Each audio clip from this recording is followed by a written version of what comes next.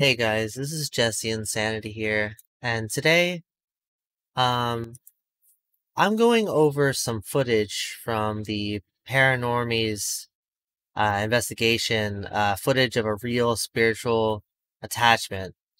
And um, we were watching this footage, and it was very compelling, but there were things about it that didn't exactly make sense to us. Like, for instance, when they said that they never mentioned the guy's name.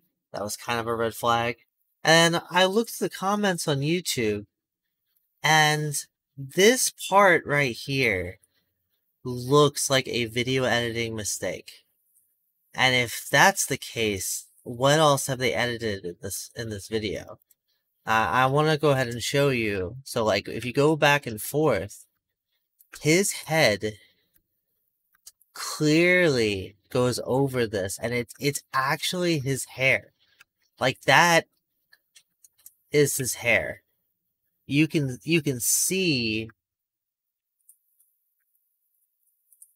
unless it's a it, it looks like a smudge, it looks blurred, but this I'm not sure how to debunk this, but this this doesn't look like a natural thing in a video. So I'd like for them to maybe explain themselves. It could possibly be fake.